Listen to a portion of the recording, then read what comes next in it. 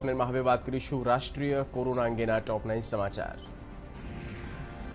હાલમાં ભારતમાં કોરોનાના દસ વેરિયન્ટ છે, જેમાં ચીનમાં તબાહી મચાવી રહેલા ઓમિક્રોના સબ વેરિયન્ટ બીએફ સેવનના કેસ પણ જોવા મળ્યા. દેશના જાણીતા વાયરોલોજિસ્ટ ગગનદીપ કાંગે કહ્યું કે બીએફ સેવનના ચાર કેસ પૈકી કોઈને પણ હોસ્પિટલમાં દાખલ કરવાની જરૂર નથી પડી. દેશમાં કોરોનાની ચોથી લહેરના ખતરાને લઈને આઈઆઈટી કાનપુરના પ્રોફેસર મનિન્દ્ર અગ્રવાલે મોટી આગાહી કરી. ભારતમાં કોરોના કેસના ગ્રાફમાં થોડો વધારો થશે. હવે ચિંતાની મોટી વાત નથી, કેમ કે દેશના અઠ્ઠાણું ટકા લોકોમાં કોરોના વિરોધી નેચરલ ઇમ્યુનિટી હોવાથી ડરવાની કોઈ જરૂર નથી.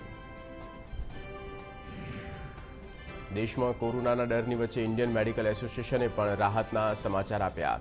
આઈએમએના તબીબ અનિલ ગોયલે કહ્યું કે દેશમાં હવે લોકડાઉનની જરૂર નહીં પડે.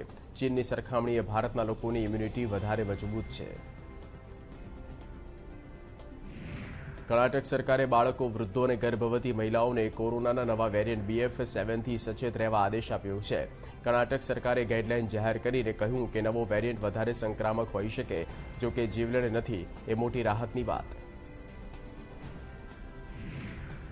ભારત બાયોટેકની નેઝલ વેક્સિન જાન્યુઆરીના છેલ્લા સપ્તાહથી બજારમાં મળતી થઈ જશે. નેઝલ વેક્સિન સરકારી હોસ્પિટલમાં ત્રણસો રૂપિયા અને ખાનગી હોસ્પિટલમાં આઠસો રૂપિયામાં લઈ શકાશે.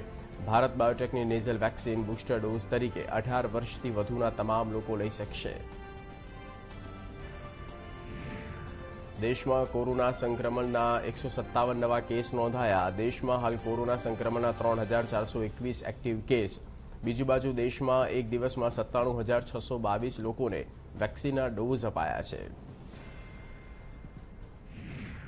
દેશભરની કોવિડ હોસ્પિટલમાં મોકડ્રીલ આયોજન કરાયું. કેન્દ્રીય આરોગ્ય પ્રધાન મનસુખ માંડવિયાએ દિલ્હીની સફદર જંગ હોસ્પિટલની મુલાકાત લઈ તૈયારીઓની સમીક્ષા કરી. તેમણે કહ્યું કે ઓક્સિજન, વેન્ટિલેટર, બેડ, દવાનો, જથ્થો, ટેસ્ટની ક્ષમતા અંગે ચકાસણી કરવામાં આવી. કેન્દ્રીય આરોગ્ય પ્રધાન મનસુખ માંડવિયાએ કહ્યું કે કોરોનાને લઈ લોકોમાં ડર અને ભ્રમની સ્થિતિ છે, જેથી અધિકારી અને તબીબોને લોકોને સાવચેતી અને સારવારની યોગ્ય માહિતી ઝડપથી આપવી જોઈએ.